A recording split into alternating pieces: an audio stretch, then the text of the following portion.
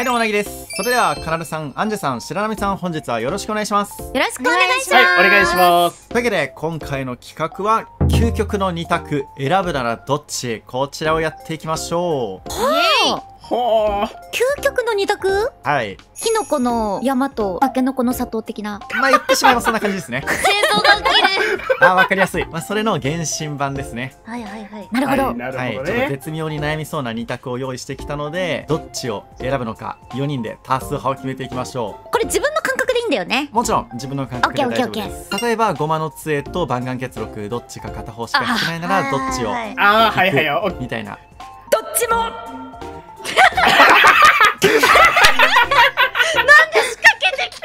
仕掛けてきたね。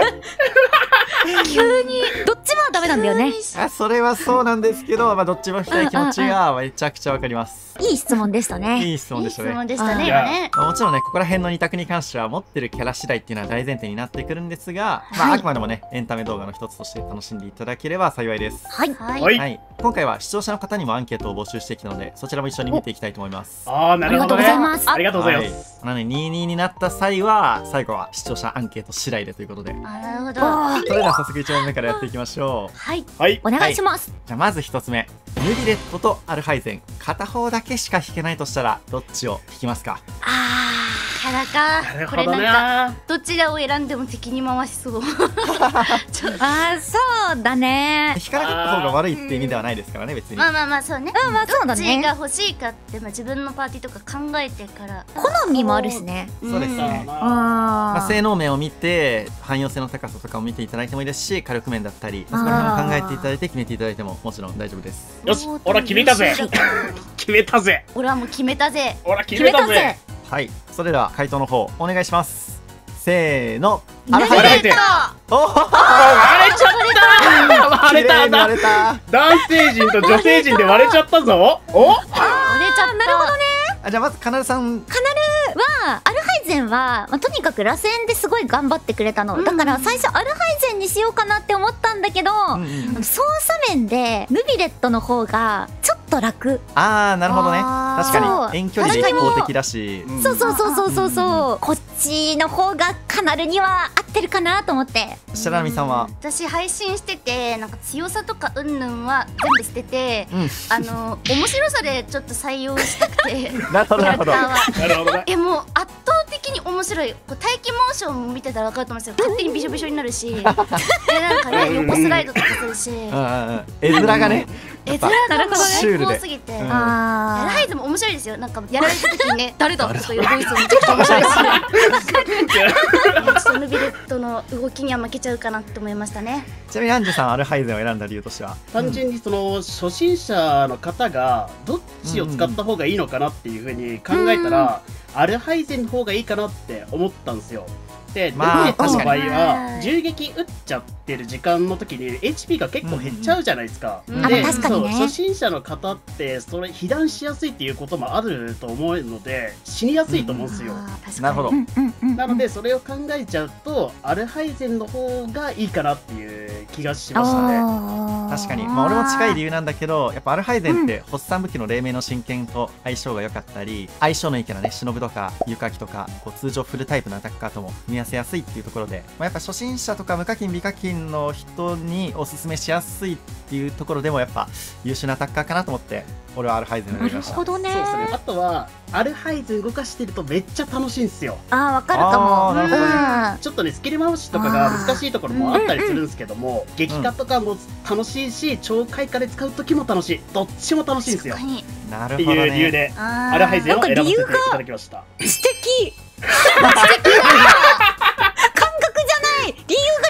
るあちゃんとあるな。ヌビレットもねめちゃくちゃ使ってて楽しいところもあるしやっあうんうんぱねうん。ハイドロポンプの爽快感とかもあるからめっちゃ悩んだんだけど究極だったね。究極で分かれたんですがじゃあ実際問題、アンケートの方はどうだったのか見ていきましょドゥドゥドゥドゥ。う、では、えーアンケート結果がこちらです。ネビレットの方が多い。何まマジか！ダニ何そうなと思ってた。あでもうん。うん。これがトレンドの力いかやトレンド強えあと旅人増えてるしね。今ね。ーいやー6割もいってるんすね。まあやっぱネビレットの爽快感というかシンプルにアタッカーとしての性能の高さがねやっぱうんネビレットはちょっとずば抜けてるところがあるから、まあ、もちろんねアルハイゼもアタッカーの中で超強いキャラクターなんだけどうん。固有添付がねネビレット強いわ。それはそう確かにね。っすね強すぎるんだよないろいろと。1.6倍えぐい普通に頭おかっすよね。あとか下手な関東効果より強い。いややばいっすよね。固有添付で持っていいものじゃない。性能的に。これやばいっすよね。はいということで一つ目はねちょっと22で分かれたんですが視聴者アンケートでヌビレットの方が多かったということで。イエイエーイイエーイ よよよ勝ちとか負けられるのか分かんない。どっちも好きだからなどっちも好きなんだよな。うん。そう。これ多数派を決めるね戦いなんで。そうそうだよね。うん戦い戦い戦いなるかほどな。さあそれでは、えーお次2つ目のお題いきましょうか。2つ目のお題。サイフォスの月明かりと新星4 HP 片手剣。どっちか片方しか引けないとしたらどっちを引く、笛の剣みたいなもんばっかしか育ててないからな。どうしようまあ、両方とも片手剣でなおかつ優秀なね武器と言われている2つなんですが。悩むねこれ。もうこれこそ本当に持ってるキャラとか使いたいキャラの運用次第だから意見分かれそう。そうだね。ほら決めたぜ。俺はもうこっちで行こう決めました。それでは回答の方お願いします。せーの新片手剣サイボスおおおー分かれた分かれた分かれたねでも悩んだよ悩んだうん HP 片手剣を選んだ明確な理由が1個あって代用できるかできないかああなるほどなるほどあ確かになるほどねあ熟知片手剣に関してはやっぱ鍛造武器でね、鉄砲の差しがあるので、うんまあ、最悪そっちである程度代用はできる反面現状うん星4片手剣で HP 持ってるのはこの武器だけなのでそうかそうかそうニーロのモチーフ武器を持ってない人からしたらやっぱ重宝するかなっていうところでううん。ん俺はこっちを選ばせていただきました。おー知的。知的や。カナルもね明確な理由が一つあって選んだんですよ。はい。すっごい悩んだんだけどうん。見た目が好き まあ、確かにかっこいい。あの某ね。いいよね。あそうそうそうそう。某もううん。某なんかでっかい巨人がね出てくる作品ですよね。そうですね。そうそうね。某でっかい巨人を倒す舞台、うん。それだけですね。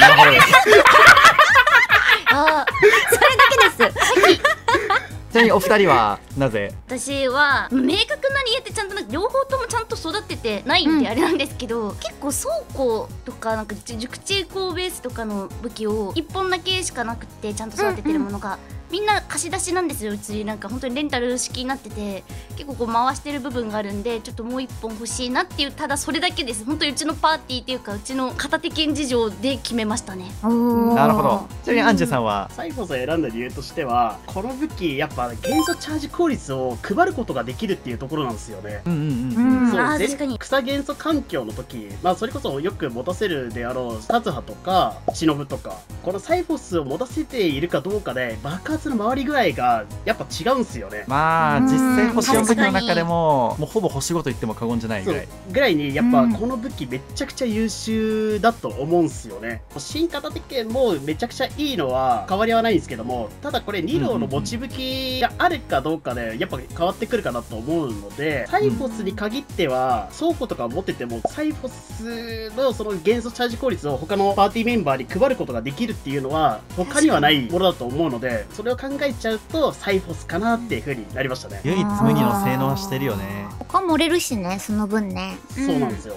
なるほどです。くっそ真面目でごめんなさいいややっぱそういう今回はあえて言ってしまえばこうエンジョイ勢の方とちょっとガチ勢の方をちょっと入り混じってね。ああえてうん。このメンツでこの企画をやってみたいなという気持ちのもと。あちなみにうん。見た目はどっちが好きですか？えー新型的ですねありがとうございますさすがに見た目は片手剣新しい方だよね。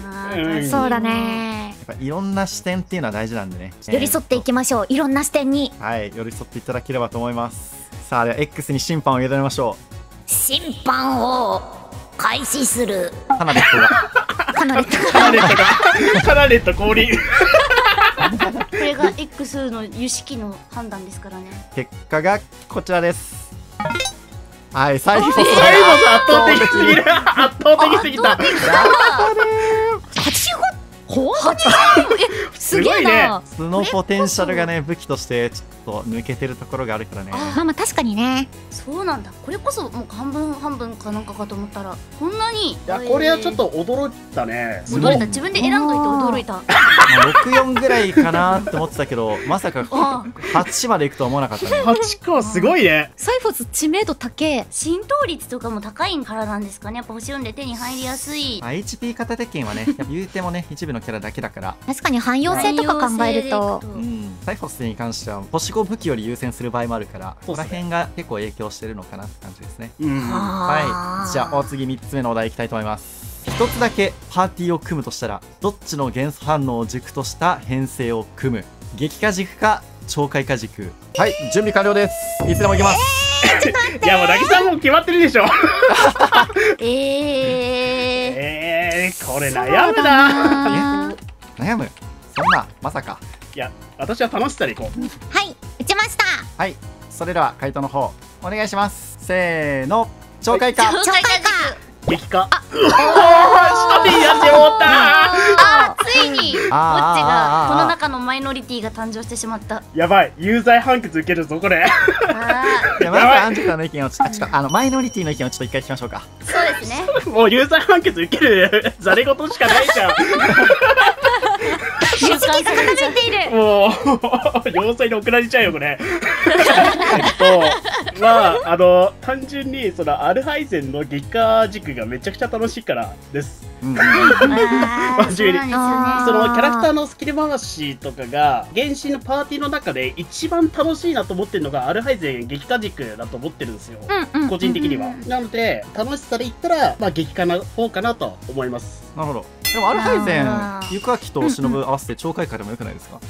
まあ。なんかちょっといやーわかんないけど。いや、やえ、いやー、ナヒーだと別に、やえみことかも入れたいからね。アルハイゼンナヒーダ忍ゆくあきでよくないですか？いや、激化は激化で楽しいっすよ。あもちろんね国性とか使う場合は激化ねめちゃくちゃ強いんで、うんうんもうそれはもう超強いのは分かるんですけどやっぱアルハイゼン使うんだったらぜひね超開花を皆さんに使っていただきたいなという。いやー、超快かアルハイゼンもね、どっちも使ってはいるんですけども、やっぱ楽しさだったら激化の方かなと思いました。だけです。あ本当にそれだけ。ちょっ。とここからは超開花の魅力を。やばい、もう要塞送り確定だよ。なんかわかるわかるけどね。ううん。んうん。まあどっちも強いんだけどねちゃんと、うん。両方うん。原産の中でも相当強い部類なんで、ちなみにお二人は超開花を選んだ理由としては？カナル結構悩んだんだけど螺旋で試しにやってみてって言われたのが超開花だったの。あんまり意識せずにやってたんだけど。なるほどそしたら敵がドロドロいなくなったから強いってなっていやーやっぱ超開花にした。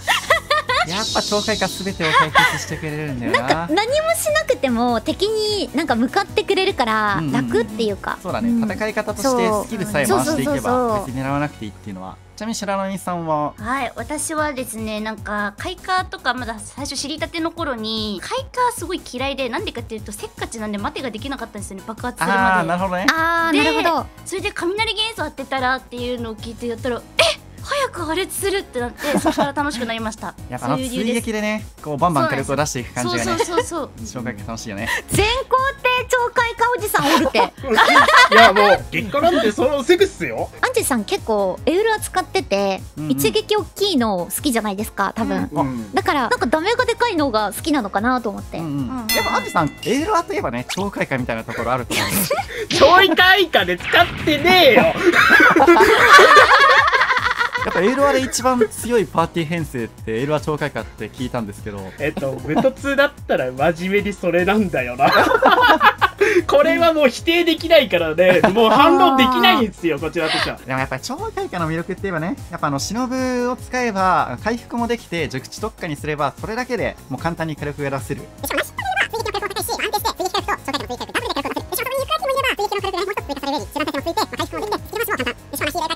パーティー編成が完結してるってことでもうありとあらゆるところでね超開花っていうのは素晴らしい編成。あ皆さんあれどうしたんですか？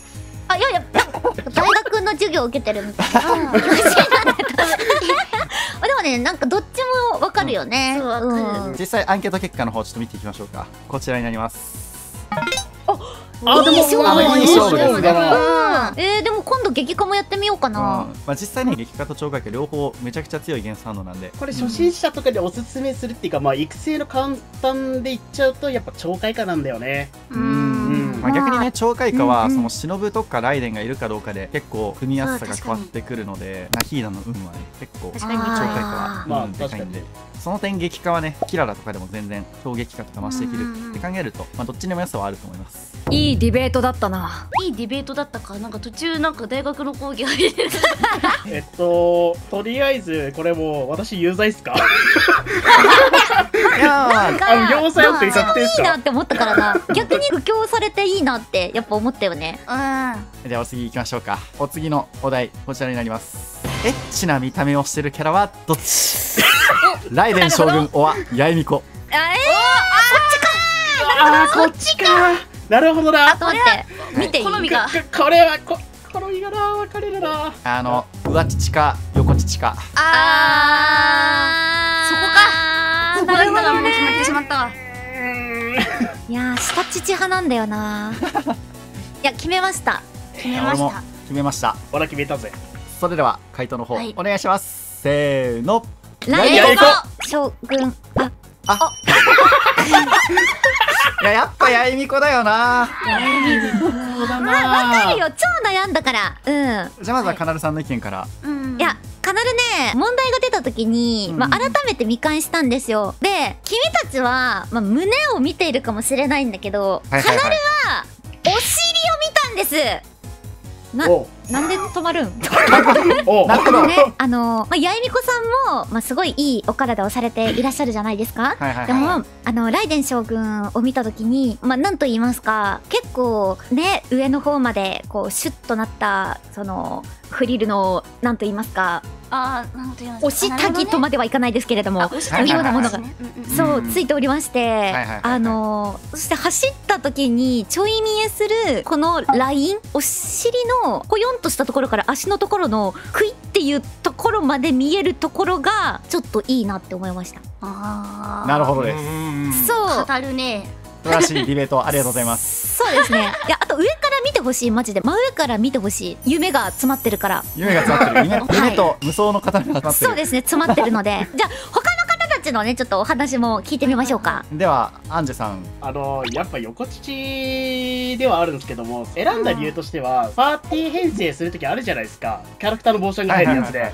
ややめとちょうど横になるんですよね。あ体を横にあーこう横に見せつけてからこれ見せつけてくるからねこれはよろしくないよね。なるほどね確かに。やばい。いやこれはやばいかと。俺今パーティー編成画面見てとんでもないことに気づいてしまった。これ八重美子派ではあるんですけどライデンのパーティー編成画面見てください。前向いた時にバルーンってなってる。バルーンってなってる。あ何とは言いませんがうん何とは言いませんがうん何とは言いませんが。バルーンってなってる。あーでも八重美子もいいねやっぱ。でもやっぱね、えーこれはさいい感じに横を見せつけてくるのはやっぱね歪ませてくる可能性もなくもないんじゃないかと。思うんですやばいけど全年齢対象のゲームだよこれ。見たくなんだけどさちょっと試しにさサラちゃん見てほしい。第三第三勢力来たよ。大体見れば来たんだよ第三勢力。ちゃん勢力すごいからいろいろ。まあちょちょっとねあまあまあここに2択ということで、まあ確かに。ニコニコしちゃうね。ちなみに白波さんはなぜはい。いやもう横乳なんか私結構なんか上よりやっぱ下辺が好きなんで。だってあのみんなさ第一声横乳から入るのやめない？いやなんかジシアも下乳が見えるか否かで私本当にずっと頑張って見覗いてたんですよ。ってくらい、うんうんうん。どちらかというと上乳よりはっていうところとあとやっぱ性格面で選んじゃった自分的にやっぱりこの中でエッチなお姉さんみたいなポジションは八重美子のイメージがあったからなるほどね。装いもあるけど性格にもちょっと引っ張られましたね私は。なるほどね。いや皆さん浅いですね。何？八重美子八重美子の何たるか分かってない。全否定したぞ もちろんさっき言ったのパーティー平成画面だったり、まあ、横乳もね素晴らしいものですよ。いやただ八重美子の良さはそこだけじゃないんです。見てください、うんうんこの生足。ああはいはいはいはいはいはいはいはいはいありましまあねまあね。そしてはだけた背中。背中？ねかるわ背中ね確かに。うん。圧倒的この足と背中によるエッジ度。これがねもうやっぱ 八重みこはねちょっとズバ抜けてるかなと。あ思っておりまうん広げてきたな。クオリティ高えな。まあでもね 背中はね悩んだな。そう原神操作してる時って基本的に背中しか見ないからそれを考えちゃうと確かにまあ確かにね。あそうそう言われちゃうとねはいああ納得しちゃう。なるほどね。5エッジ。確かにでもいろんな着眼点があっていろんな壁があって。この話の着地点どこにもない。着点。が もうただ気持ち悪い会話してるだけなんだよな。これはアンケートあるんですか？あもちろんもちろんアンケートしてきました。あてんのかい。それそれを取ってんのかい。それを知りたい。それではまあ約2400票結果を見ていきましょう。それでは最終結果がこちらです。いやいい勝負してんないい勝コンマ数パーセントの差。うわすごい。でもすごいね。これこそ究極の二択。綺麗に割れてる。でも大納得かも、これはドローでいいんじゃないでしょうか。ドローですね。いやいい戦いでしたな。すごい。最終問題にしてこんな綺麗に分かれるとは。大丈夫？なぎさん一人で500票くらい入れてない？アカウント何本もし仮にしてたら俺のいいね全部500超えてるからいやー最終問題してマジでめちゃくちゃ綺麗に分かれましたね。なんか幸せな気持ちになりました。ちょっとかなるさんが言った「ないでしょう上から見ろ」ちょっと私新境地だった気がするすごいんすよ。本当だすごい。はいということで今回は究極の2択選ぶならどっちこちらをねやってきました、はい究極でした。最終問題究極でしたねマジで。いやうん。あまたね今回の企画が好評でしたら続編やっていこうと思うんでぜひ皆さん高評。価の方よろしくお願いします。ーお願いします。はいお願いします。それでは今回遊びに来ていただいたアンジュさん、カナルさん、白波さんのチャンネルは概要欄の方に貼っておりますのでぜひぜひそちらから皆さんのチャンネル登録の方よろしくお願いします。お願いお願いしはいおます願いします。それではご視聴ありがとうございました。ありがとうございました。ありがとうございました